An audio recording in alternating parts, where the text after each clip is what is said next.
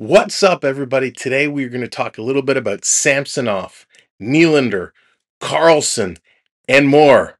Let's dig in. Welcome to the Samwelb12 experience, where we have you covered for the Toronto Maple Leafs, Blue Jays, and more.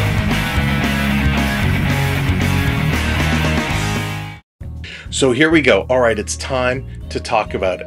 We're going to kick it off on today's show discussing Ilya Samsonov. That's right, Samsonov. He has filed for arbitration. He has his hearing date. It is set for July 21st. Now, Toronto and Samsonov have up to the hearing date to come to a conclusion on what his salary should be. But if they don't, it will go into the hearing in front of the arbitrator. They'll discuss it and they'll have an outcome. Now, this is also a significant date because once July 21st comes, the hearing happens and everything is taken care of it opens up a second round of buyouts for the Maple Leafs. They will then have that ability to buy out Matt Murray or anyone else they choose to to free up some cap space. So, July 21, circle that on your calendar. It is a big date. Now, in other Toronto Maple Leaf goaltending news, they are looking at Brian Elliott. Now, if you're not familiar with Brian Elliott, he spent the last couple seasons in Tampa Bay. He is looking to be brought in kind of as that third stringer, right? You have Samsonov as number one, hopefully. Then you got Joseph Woll and then Brian Elliott. He'd probably look to sign somewhere around the 900K marker. He was 12, 8, and 2 last season, putting up an .891 save percentage in 22 games with Tampa Bay.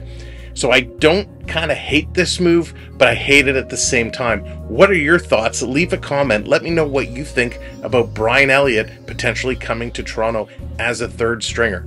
Now, the big news the William Nylander news. We've talked about Nylander over the past couple of days, but this is a big one that's heated up. First, it looked like he was going to Calgary. Now there's big conversations between the San Jose Sharks and the Toronto Maple Leafs about possibly a deal, including Karlsson, Erik Karlsson, coming to Toronto, and Nylander being a big part of that package. Now, salary wise, I'm not sure how this is going to work out. It depends what other pieces are in this puzzle.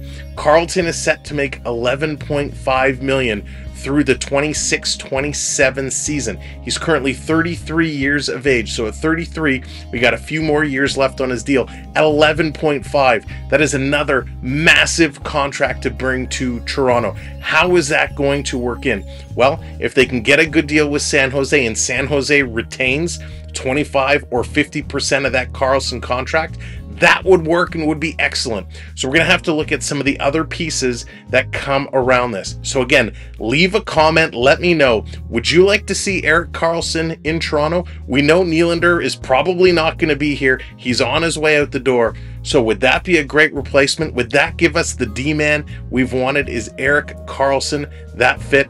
Now, just to give you a piece of what Erik Karlsson has done. Last year in 82 games, 25 goals, 76 assists, 101 points, and he was a minus 26. But 101 points is a standout. He had a career year last year.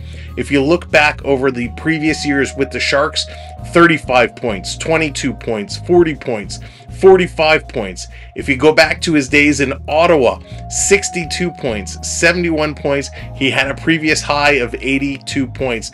So he really has been around that 40, 45 point marker and then all of a sudden exploded last year. So was it worth the risk on Karlsson?